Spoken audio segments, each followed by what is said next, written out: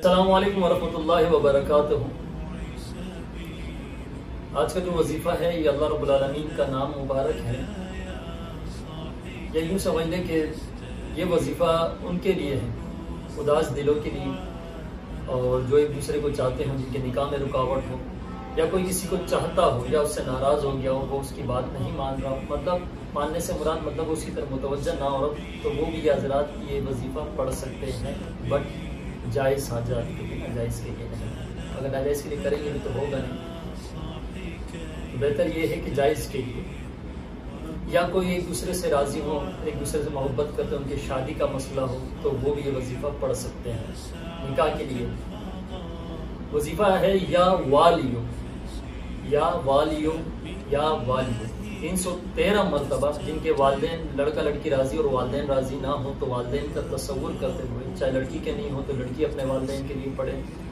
लड़के के वालदेन राज़ी ना हो तो अवध उनको मान लेना चाहिए कि जब एक दूसरे से निकाह करना चाह रहे सुन्नत है तो इसमें माँ बाप को चाहिए कि सख्ती ना बने ये मैं अपनी तरफ़ से कहना चाहूँगा कि इनको चाहिए कि बच्चों की पसंद को लाजमी देखें कि उम्र उनको गुजारनी होती है साथ में, रहना उनको साथ में है।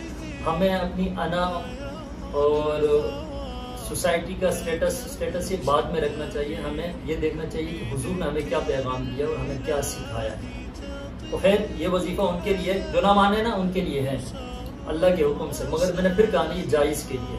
जब निकाह करना चाह रहा हूँ, कोई माँ बाप जिनके वालदे राज़ी ना हो तो ये वजीफा पढ़े इन शाह अल्लाह इस वजीफे की बरकत से उनके दिल को नर्म कर देगा और अल्लाह उनको, उनके दिल में डाल देगा कि कर देनी चाहिए। तो वजीफा है। या वालियो या वालियो तीन सौ तेरह मरतबा पढ़े, तस्वुर करें कि जो हजरात आपके रिश्ते में मसला डाल रहे हैं या जो राज़ी नहीं हो रहे हैं तो उनको जहन में रखते हुए ये पढ़ें कि उनके दिल को अल्लाह नरम कर रहे इस वजीफे की बरकत से और वो राज़ी हो रहे हैं। तो इन ताला अज़ीज़ वो राज़ी हो जाएँगे। या अगर किसी को अपने रिश्ते की बात करनी हो, अपनी वालदा से या वालिद से घबरा रहे हो, बात करने की हिम्मत नहीं, और वो चाह रहे हो कि मैं बात करूँ, वो राज़ी हो जाए तो तीन सौ तेरह मरतबा ये पढ़कर सुरमे पर दम करके उस सुरमा लगा कर जाकर अपने वालदेन से बात करें कि, अब्बा हजूर या अम्मा हजूर, ऐसा ऐसा मसला है, और हमें निकाह करना है, ये मुझे पसंद है। पसंद की इजाज़त उस नाम भी हमें देता है।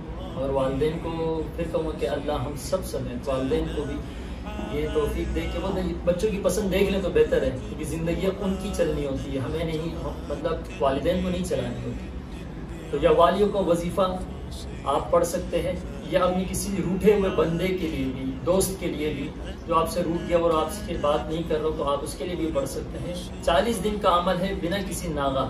अव्वल और आखिर तीन मरतबा दरूद शरीफ के साथ तस्वुर में इस दौरान बात नहीं करनी, उसका बेहतरीन टाइम सबसे बेहतरीन टाइम है। इसका बाद नमाज़ इशा खामोशी में कोई आपके साथ ना हो।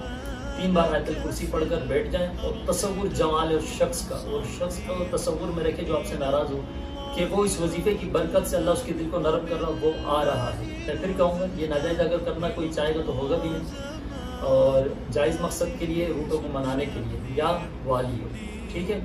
मुझे दें इजाज़त इन अगले वजीफे में आपके साथ फिर मुलाकात होगी। मगर फिर कहूँगा, वजीफ़ा पढ़ने से पहले शर्त है कि इजाज़त ले लें तो वो बेहतर है। असल वरहमल वर्का